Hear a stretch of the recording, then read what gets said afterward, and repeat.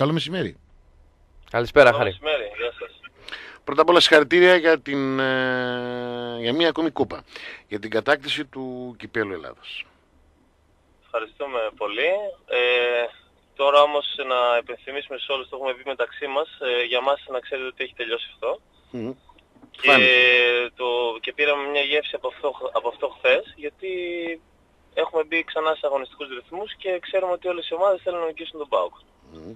Ε, το απέριξε αυτό χθες ο Φίνικας με μια πολύ καλή εμφάνιση πιστεύω και μας Ναι. ε, ζόρισαν αρκετά. Σας ευνηδίασε το comeback του Φίνικα μετά το 2-0. Δηλαδή ο Πάκο Κοιτάξτε, προηγήθηκε με 2-0 α, και στο τρίτο και τέταρτο σετ ο Φίνικας έβγαλε άλλα στοιχεία σε σχέση με αυτά που είδαμε στο, στα πρώτα δύο. Ειδικά στο τέταρτο σετ ε, χρειάστηκε 6 μάτς μπόλο ο Πάουκ για να τελειώσει το παιχνίδι να πάρει την νίκη. Από το 24-20 αν δεν κάνω λάθος έγινε 24-24, έτσι Χάρη; Ναι, ακριβώς. Ε, το θέμα είναι ότι είχαμε πάρει μια γεύση στο πρώτο παιχνίδι με το Φίνικα στο πρωτάθλημα, στην κανονική διάρκεια. Δηλαδή είναι μια πολύ μαχητική ομάδα. Πιστεύω ε, αυτό είναι οφείλεται στον προπονητή της ε, που τους έχει μάθει να κυνηγάνε την κάθε μπάλα. Ε, και από εκεί και πέρα δεν ήταν κάτι που, το οποίο μας ευνηδίασε.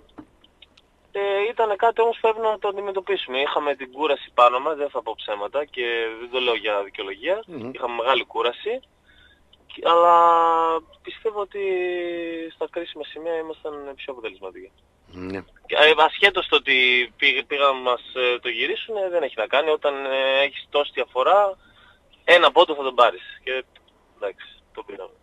Ναι, εντάξει, οκ, αυτό λέω ότι ε, θεωρείς ότι χαλαρώσατε μετά το 2-0. Θεωρήσατε ότι το, το τρίτο σετ θα είναι πιο εύκολη υπόθεση και εκεί ο Φίνικας έβγαλε αντίδραση; Όχι, η, η αλήθεια είναι ότι στο βόλεϊ η μία ομάδα δεν μπορεί να παίζει, δεν μπορεί.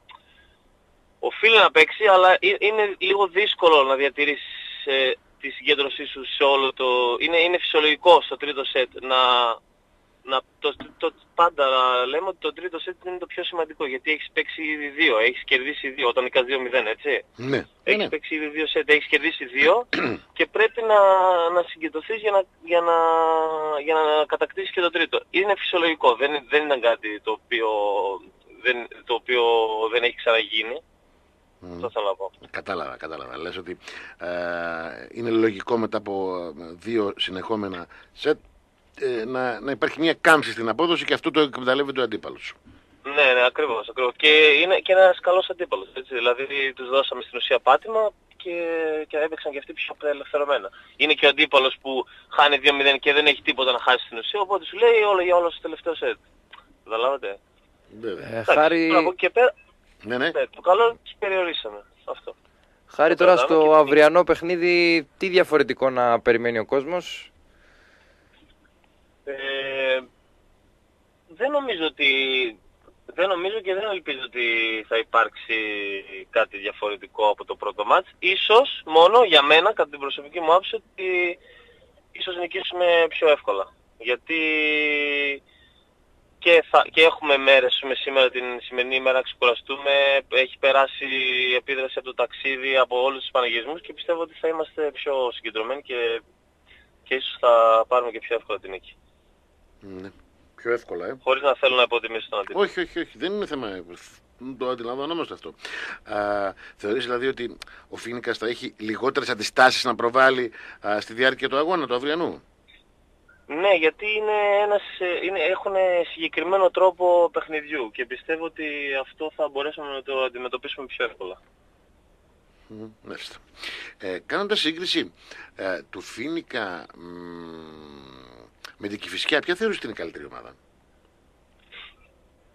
Ε, η Κηφισιά κατά τη διάρκεια του πρωταθλήματος με εξέπληξε ευχάριστα. Έπαιζε πάρα πολύ καλά.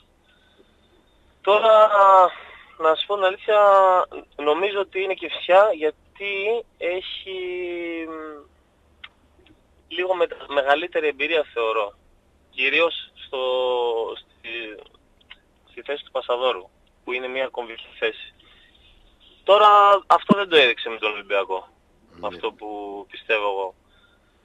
Νομίζω ότι ο Φίνικας είναι λίγο πιο επιρρεπής στα λάθη και, και και στην απόδοσή του γενικά. Δεν έχει σταθερή απόδοση όπως και δεν έχει σε όλο το πρωτάθλημα. Ενώ η Κηφισιά είχε μια σταθερή αλφα απόδοση. Μάλιστα.